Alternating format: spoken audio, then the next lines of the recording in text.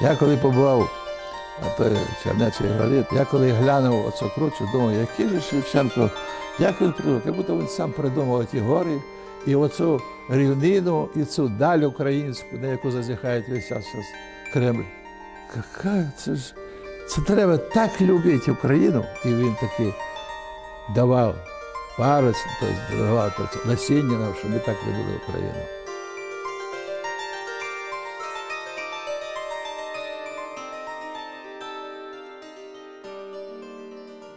Володимир Матвієнко людина, яка любить говорити правду, навіть якщо ця правда била по його реноме. 1977 року, коли готувалася до експлуатації Чорнобильська атомна станція, Володимир Матвієнко був єдиний, хто не підписав державний акт про її готовність до роботи. Тоді він був заступником керуючого української філії будівельного банку СРСР і входив до складу приймальної комісії. Там, де закінчені були елементарні роботи по станції. Якщо ви бачили Фокусібу по телевізору, зверху така жовта кришка. А у нас цієї кришки не було. Тому, коли не розігрили блок, то захисту не було, воно все пішло, зарвануло. А щоб зупинити температуру, Москва не дозволила. Каже, ми ось всіх постріляємо. І ті 23 експериментатора, хоча зараз вже по-другому брешуть, всі вони загинули. Всі загинули. А то пішло повітря. Таку дикость могла зробити тільки імперська держава, якою був Совєтський Союз. Звичайно, його непоставлений тоді підпис не вплинув на те, щоб запобігти подальшій трагічній долі і самої станції, і сотень її працівників, і мільйонів українців, уражених радіацією. Та й сам Володимир Павлович, якому погрожували ув'язненням за норовливість, уже тоді привернув до себе увагу радянських спецслужб. А через якихось два десятиріччя прізвище Володимира Матвієнка з'явиться у списку тих, хто підлягав ліквідації у разі народження незалежної української держави. Це були громадські діячі, письменники, колишні дисиденти. Коли ГКЧП е, в 91-му році, 19 серпня, прилетіло в Київ 30 літаків воєнних з десантниками русскими. Взорвать ситуацию.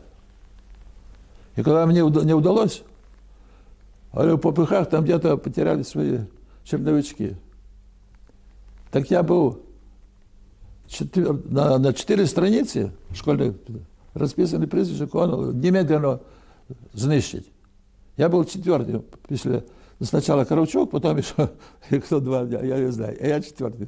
Винуватцем і Чорнобильської катастрофи, і взагалі усіх українських трагедій, нинішніх і минувших, він вважає більшовизм. Большевики це самая страшная сила. Це така ж страшна сила, як е, от, е, Путінська. Оце два ворога цього чоловіка людства. Більшовизм позбиткувався над родиною самого Володимира Матвієнка і голодоморами, і війнами, і репресіями. Через більшовизм він ніколи не бачив свого батька, бо Павла Матвієнка ще до народження молодшого сина тодішня влада запроторила до Сибіру як активного діяча УНР.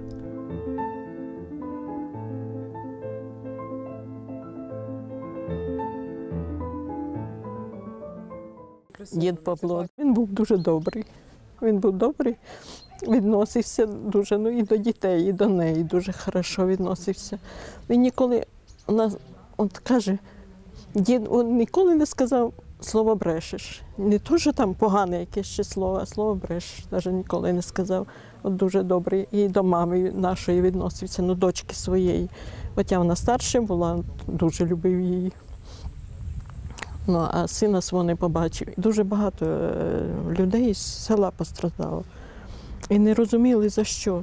Ну, він був теж хазяїн, десь, ну, столяр був, ну, от, е, е, ну, хазяйство вів якесь. Уже дорослим і успішним Володимир Матвієнко пройде хресним шляхом батька.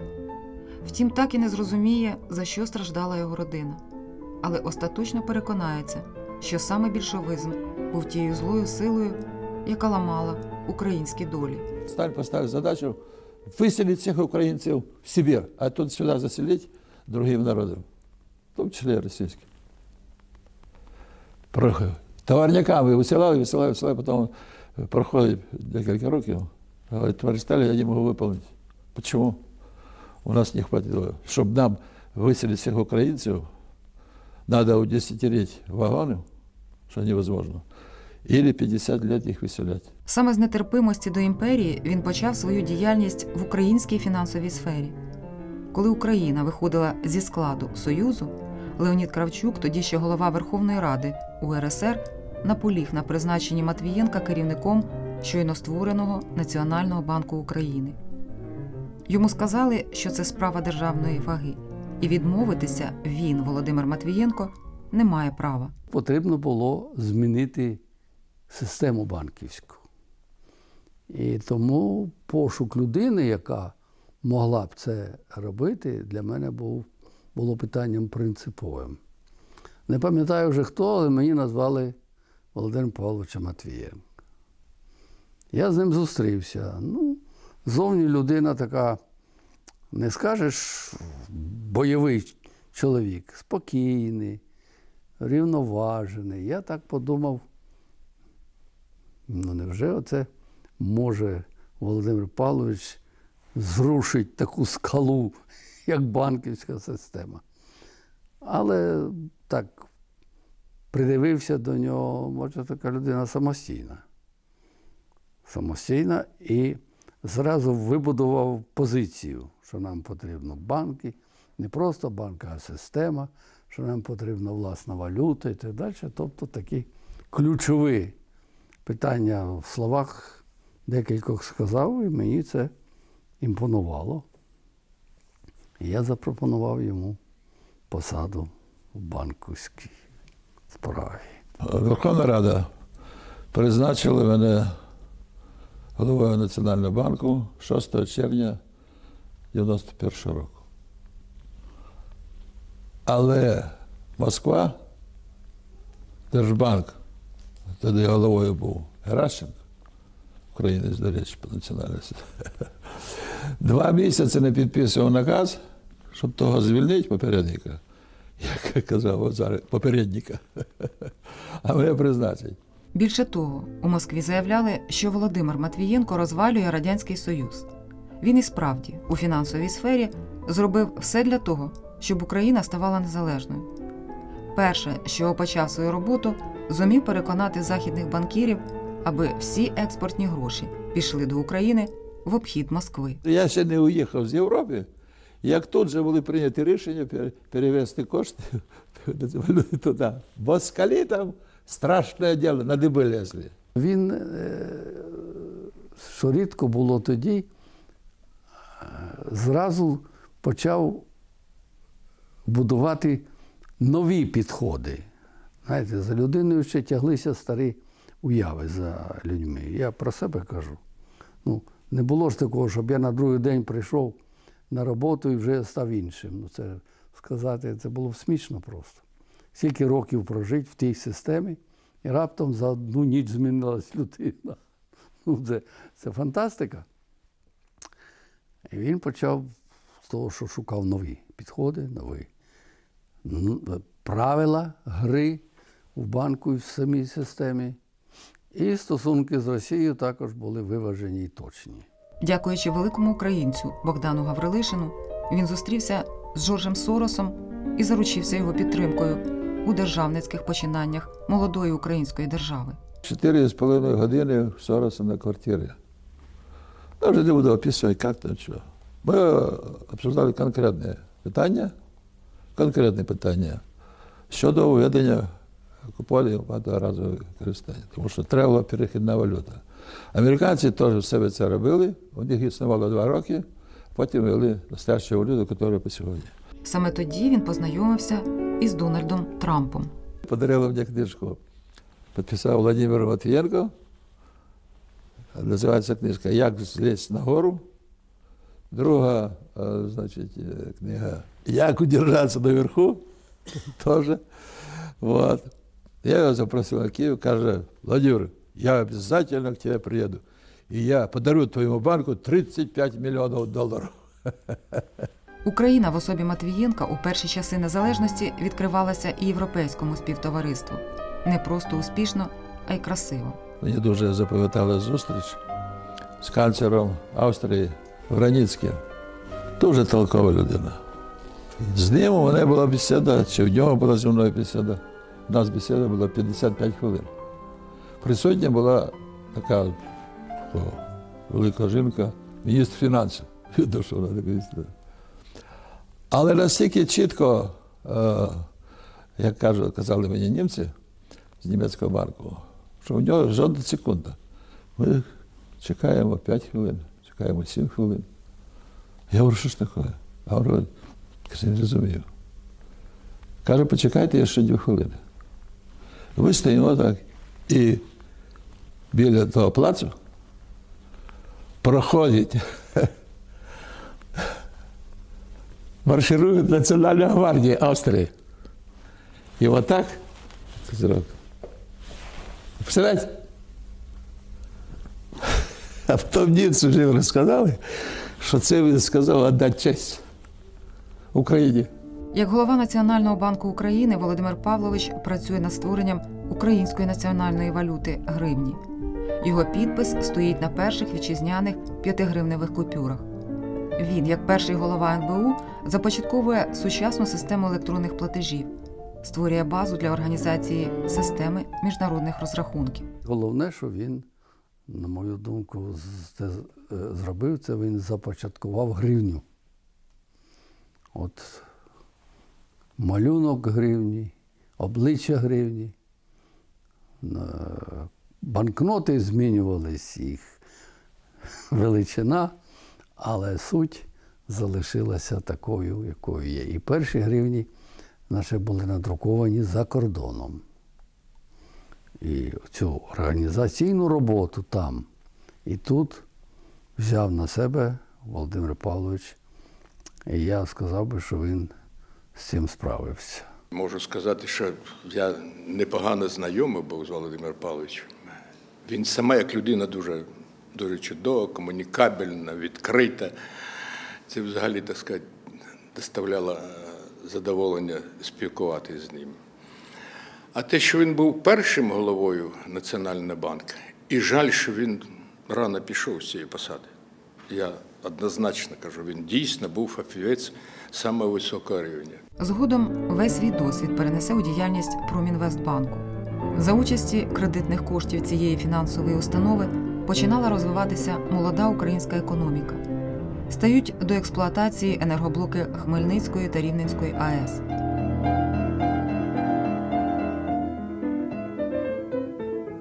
Створюються сучасні літаки сімейства Анів. Будується автобан Київ-Одеса.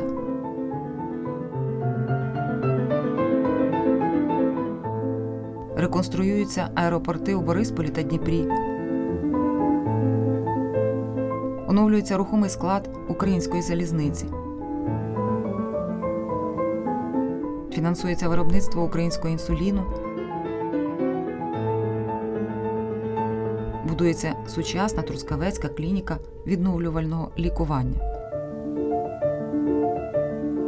Він активно кредитував аграрний комплекс. Сільське господарство треба підтримувати. Та після розвалу Агробанку, значить, Провінцбанк 40% всього обсягу кредитування взяв на себе. Не боявся так сказати, вкладати і кредитувати так, також гроші, бо е, знаєте, в той час нестабільний так сказати, в фінансовому плані, не тільки фінансовому. Це треба було мати мужність. Ну, а візьміть, будь ласка, атомні станції. Я думаю, що вони зіграли дуже велику роль в нашої безпеки України. І Хмельницька станція, Ровенська, блоки, які додатково були введені, вони дуже були позитивною для України. Це будь-який проєкт, який ви назвали, він мав дуже позитивний е, розвиток для України в цілому. У сфері державності жодну справу не можна робити наосліп, любить повторювати наш герой. Напевне, саме державницьке мислення героя України Володимира Матвієнка посприяло тому, що його визнав і високо оцінив цивілізований фінансовий світ. Ім'я Матвієнка увійшло до списку видатних інтелектуалів 21-го сторіччя. Цей рейтинг складає Міжнародний біографічний центр, що діє в Кембридж. Він серед живих легенд, яких також визначає світ.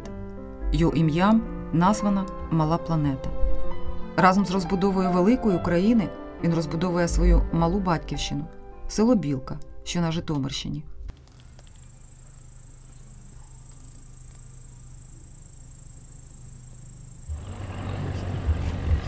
У білці на батьківському подвір'ї він посадив великий плодовий сад, якому не видно кінця краю.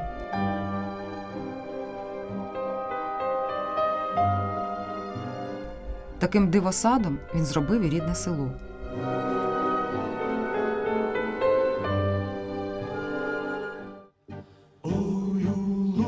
лузі червона калина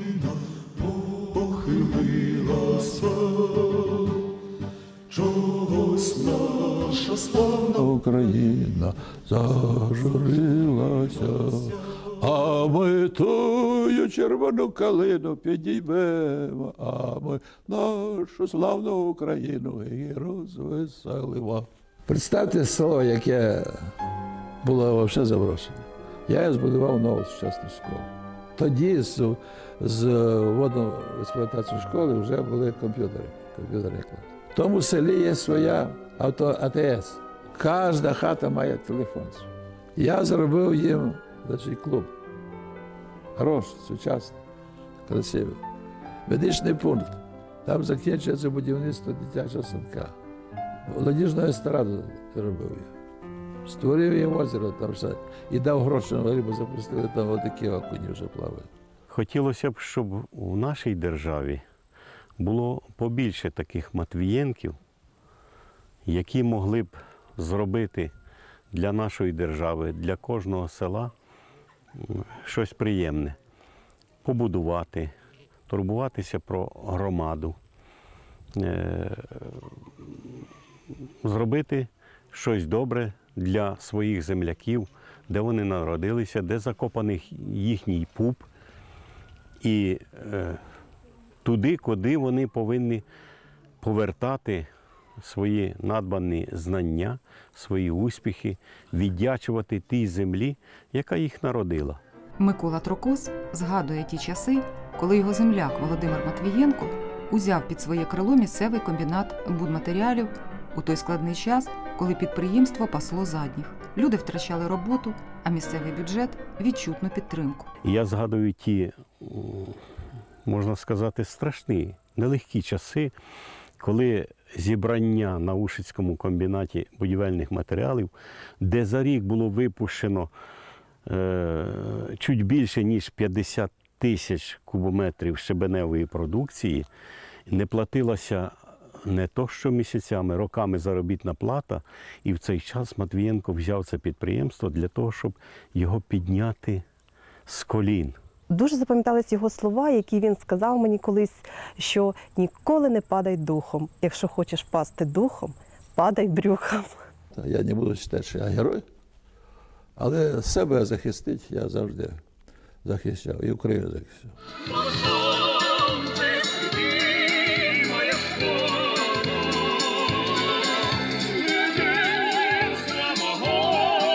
Білківській школі Матвієнко здобув свої перші знання. Він, звісно, був один з лідерів.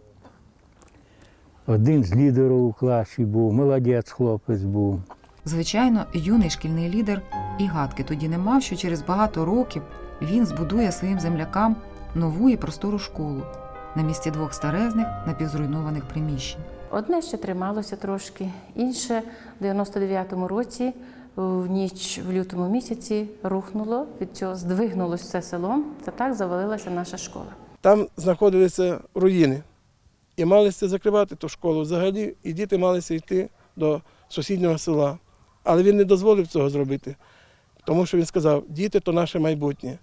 І він зробив це від щирої душі, від щирого серця. Володимир Павлович відразу відповів: ні ремонту, ні реконструкції не буде, у Білці буде нова школа. І ось у липні 99-го року був закладений перший камінь у нашому селі. коли ми перейшли в цю школу, ми стали, е, ми вирівняли плечі, ми стали е, сміливо людям в очі дивитися. Фінансист зі світовим ім'ям, меценат, благодійник, заслужений діяч мистецтв, поет-пісняр, людина, яка у всіх іпостасях намагається змінити Україну на краще. Він активно допомагає воїнам АТО, заснував музей патріотичної слави, сповнений нових амбітних планів. Каже, що капітал духовний сильніший за капітал фінансовий. Якщо совість є, його не смоють нічим. Ну, можуть тобі навредити, нашкодити, там в тюрму посадити. Але совість це така сила, яка тебе надає в гробу, якщо ти нечесний був. І, і відтвориться на всьому твоє покоління, на всіх родичах і про. Чоловік повинен відповідати, людина повинна відповідати перед державою, перед народом. Знає це народ чи не знає, ти роби, як завжди. І вийде добре. Мені подобається в цій людині, не дивлячись на всі тяжкі е, сторінки життя, що він пережив. А він пережив тяжкі, е, важкі часи, коли йому не давали працювати. Знаєте, він залишився ким? Поетом. Поетом і письменником, який пише від душі. І ті вірші, ті пісні, е, вірші, які пісні складені, то є душа цієї людини. Душа Поліщука, справжнього Поліщука нашого, ріднього, і веселого, і доброго, іноді і сердитого, так як кожна людина. Але то щира людина. Мене свої є. Люблю я свою Україну, як матір, як неньку люблю. Зелене село на полісі, білесеньку хатку в саду. Люблю я ту грошу стареньку, що батька ще знала вона, і ту криницю в садочку, де дуже холодна вода. Ну і так далі теж. Моя найголовніша мрія, перша, невідкладна, це, щоб припинити цю бойню, на, звільнити наші землі від захватчиків, щоб не було війни. Це найголовніше. Це перша задача. Друга е, всіх злодіїв викосить, випалить, щоб не було злодіїв. А народ у нас хороший.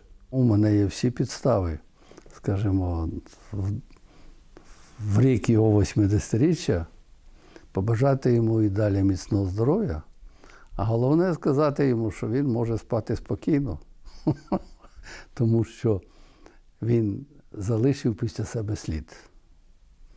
Як казав Мицкевич, людина, яка не залишила після себе ніякого сліду, марно прожила життя.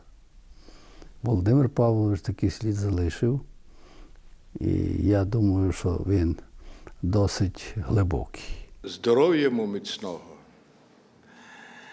І щоб ми про нього сьогодні чули набагато більше, ніж то він десь хутко зник.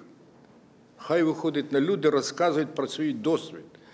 Хай дає, так сказати, можливість молодим на його досвіді навчатись. А йому є чого сказати, так сказати. Ну, насамперед, тим, хто працює в банківській системі, да взагалі в житті. Він людина з таким досвідом життя, що його треба брати забирати з собою. Я люблю тебе, справіку рідна Україно, наше поле і домівку й під вікном калину. Та бажаю тобі, мамо, і цвіту, і плоду, щоб співалося так само на славу народу.